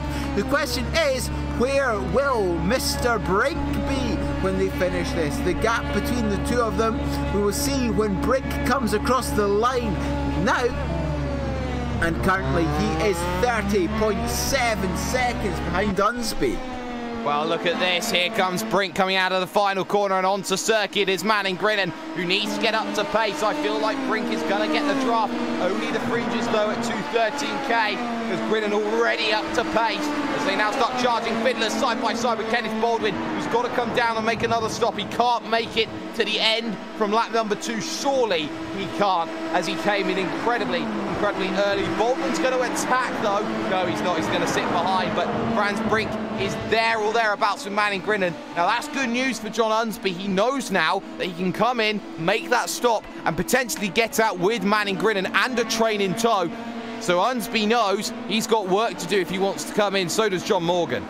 Potentially, but all it all matters about these clean air laps that both of them are setting at the moment. Well, all four of them, all five of them are setting at the moment. It's just depending on how fast these few laps are. Unsby and Morgan coming round the final turn now. Neither of them deciding to come in the pits. Jos van der Ven has had a spin. He was trying to get around Bob Kern.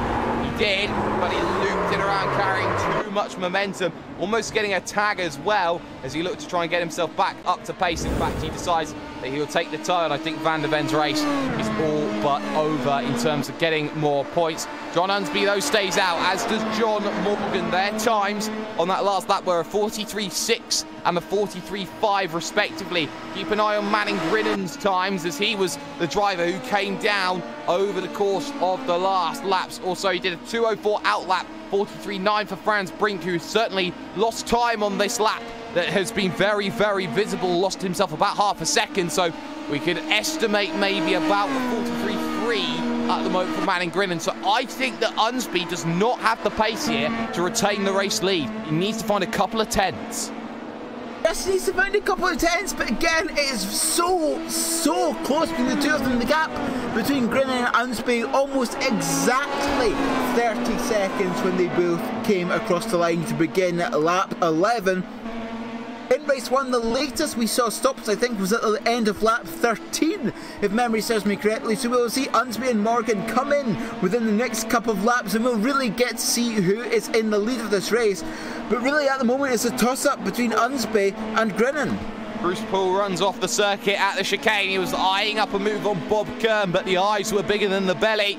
And Bruce Poole will now have to pass on pudding, I think, after that sort of move. So not quite there. We'll see if anyone dives down the lane. Here comes John coming in. And also John Morgan. Look how more aggressive Morgan is. And look at that. So early was John Unsby onto pit road, onto the limiter, that John Morgan really didn't have anywhere to go in that situation. Trap map is up between the 61 of Unsby, the 47 of Manning Grinnan, but we saw how Unsby was so pedestrian coming onto that lane. It's checked up Morgan, who probably would have wanted to go around the outside, had no room to do so. It is pretty much a one-track pit entry here as also diving down off of the lane is Richard Coulomb.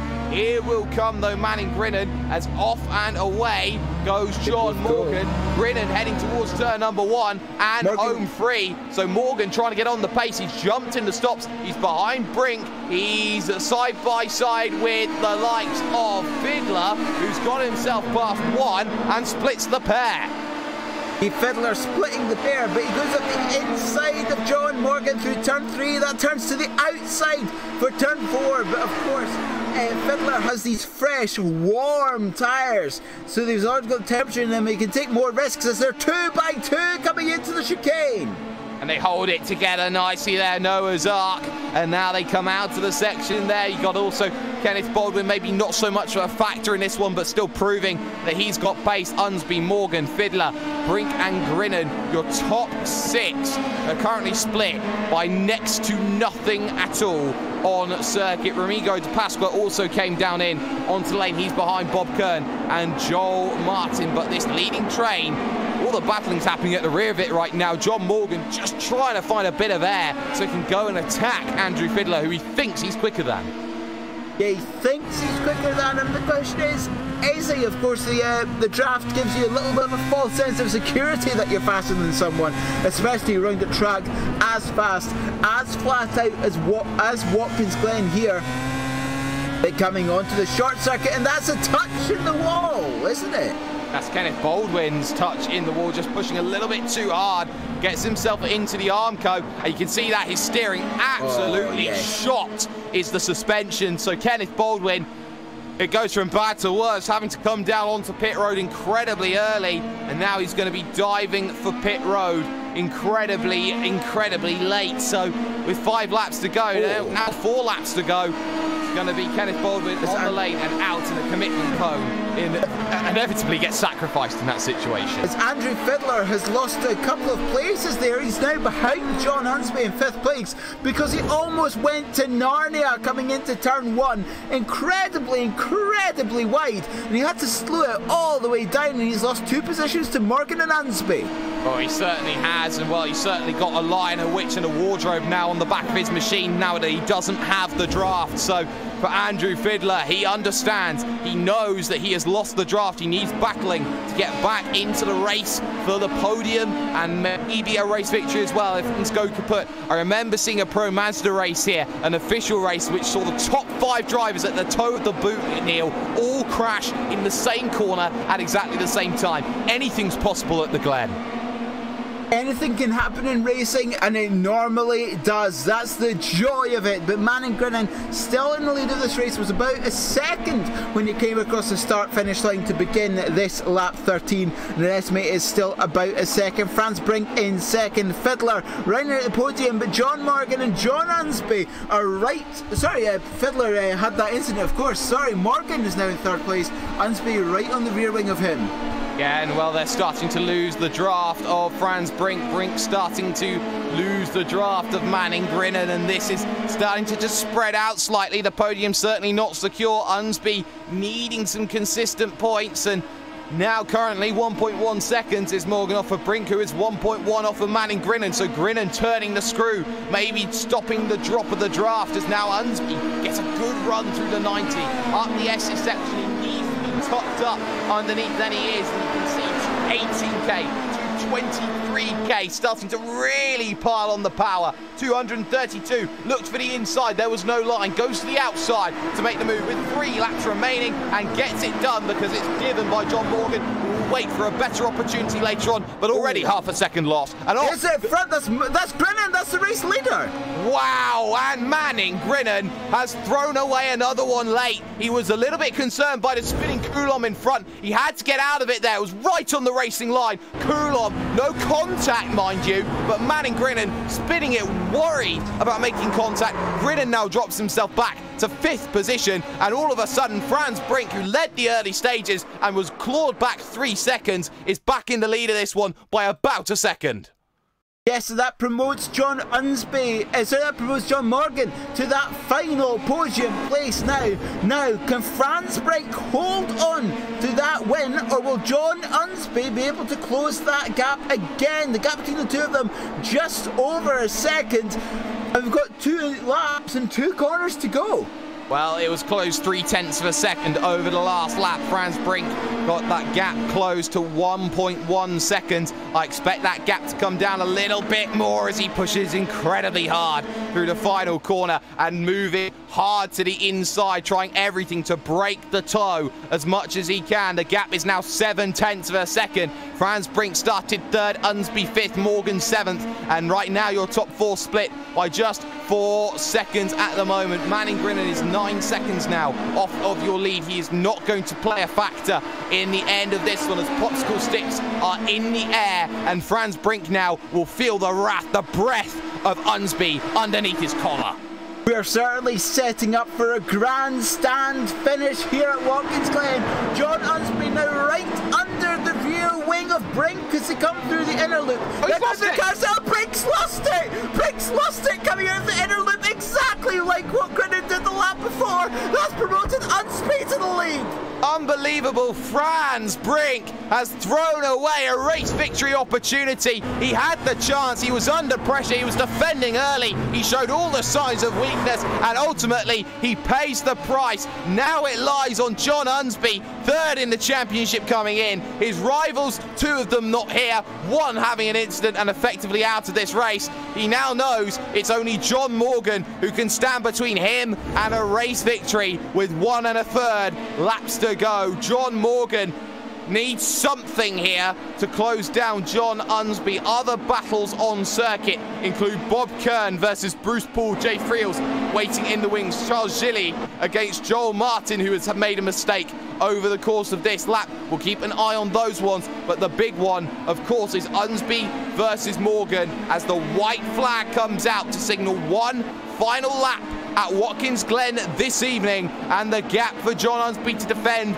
is six tenths of a second. No nonsense now between the two Johns. Unsby versus Morgan. Morgan a little bit wider through that opening corner, trying everything to bring that draft back down, hoping that he's got one final chance to make it happen, and he's closing that gap down. It's under half a second, now under four tenths, under three tenths of a second, but is he going to run out of time to go and make that move? It's now two tenths. It's now one tenth. He'll move to the outside to try and make the move as they come to the chicane, but he thinks better of it and waits for a better opportunity. The heel of the boot, perhaps, if he can continue with a great run as the big wide line taken by Unsby is to open up the corner through the carousel, heading towards the chute. But Morgan, if he can't do it at the heel, he's got a chance at turn 10, and then he is running out of options. He could go for the Michael Conti pass at the final corner, but that is certainly not advised to the heel of the boot. The pair of them come along, and right now, nothing separating these two veterans of sim racing. And now you look at Morgan. He's seeing a slightly defensive line being taken by John Unsby. He thinks that he's close enough, and Morgan feigns a look to the inside, maybe a little bit wide on the line there from John Unsby. He's got to be careful here into turn number nine. He knows there could be a chance. Little feign of a look, but it's not quite there.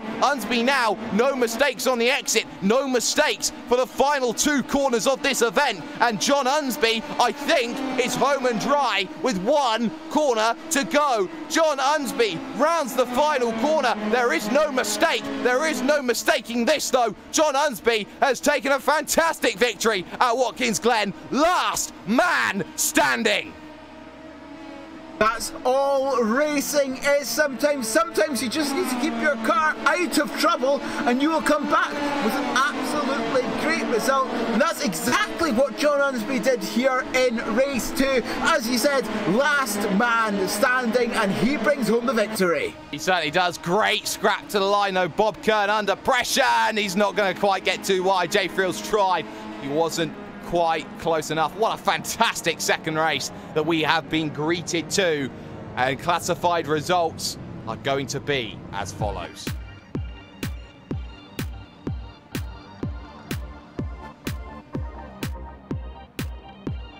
John Unsby holds on three tenths of a second in the end. The last man standing from everyone making mistakes late in this event. Many opportunities, but he goes from fifth to first to take the victory ahead of John Morgan, who started second, seventh. Andrew Fiddler finishes on the podium, starting 12 plus 9, having a fantastic run with Manning Grinnan, spinning with three laps to go. Frans Brink with two to go would also spin. That would drop him down to fifth position, with Kenneth Duma finishing sixth.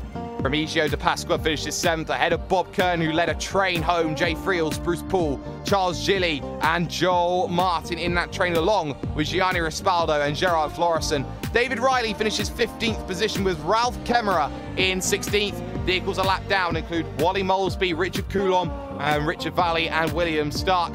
Larry Thomas was two laps down, and then those who failed to finish. A big shame for Kenneth Baldwin, who jumped, who uh, had himself a trip onto pit road early. Not sure what that was for. Jos van der Ven with a big, big mistake of his own. Or Hamilton and Fred McIntosh failing to get themselves over to the line.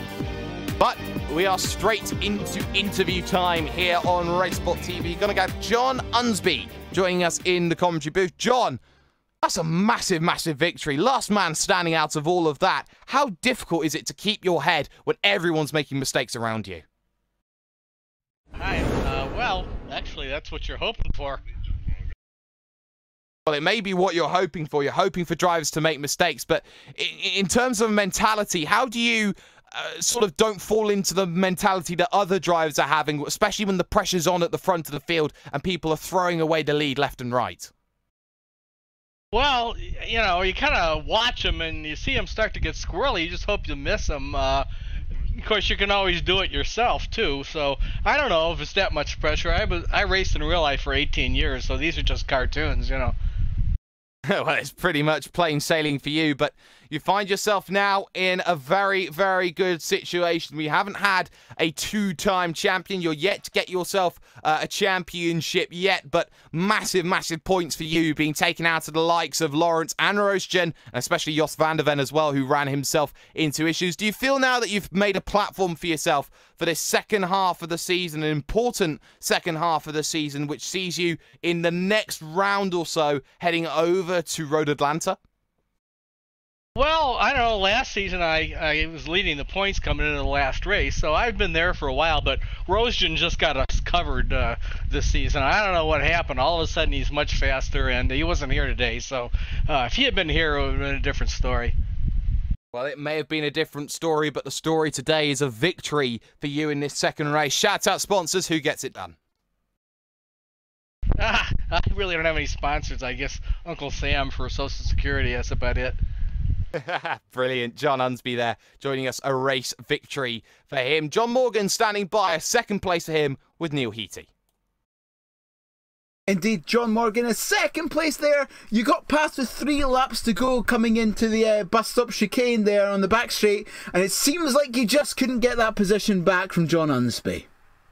No, John's uh, John's a tough racer, and I didn't see any sense in throwing it away for both of us. Uh, you know, uh, we were pretty closely matched in speed, so it was a good race, a lot of fun. Coming in uh, to this race, you were seventh place in points, uh, a good 30 points uh, you uh, got today. That puts you in 131, about fifth place in the championship or so, if my maths are correct. How does that set you up for the second half of this season? Well, my goal always at the beginning of the season is to finish in the top five. So to finally sort of squeak my way in there this week helps. So it uh, it feels good. Feels like um, sort of back on track. Excellent. Thank you for uh, thank you for coming in, John. Hey, thank you guys. Got more in there. Coming home in second position for that one. But Unfortunately, that's going to be all that we have time for here on RaceSpot TV. A massive thanks to everyone that gets it done here for us, the likes of Andwern Designs, the official graphics partners here at RaceSpot TV, as well as ATVO and Appgineer, the official graphics engine here at RaceSpot TV. Of course, we can't forget Istvan Ballo and TrackCams 22. Make sure that you check those out, along with Simon Grossman for the animations and Nick Thyssen for live timing and scoring but it's going to be a bumper weekend's worth of racing here on iRacing on RaceSpot TV. Of course, we got ourselves the iRacing World Championship Grand Prix Series, which is going to be keeping itself going through the second half of the season. A fantastic championship so far. One, a battle between Martin Kroenke, the reigning champion, the five-time champion Greger Huttu, and the new pretender, of course,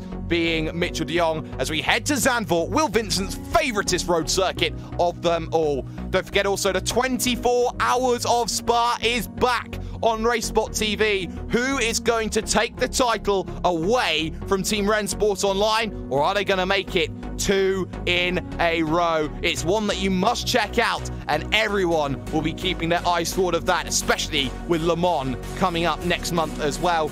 But for the time being, that's Hugo Louis behind the cameras. That's also Neil Heatley, and I am hashtag Do You Mind Jake Sperry, the observer of sim racing. Unspeed takes a big, big step towards a title challenge, but a lot of mistakes to the likes of Van der Ven. Fitterer takes the points he wants as well, but of course, no leading two, and that means that they have work to pick up on for the second half of the season. See you later.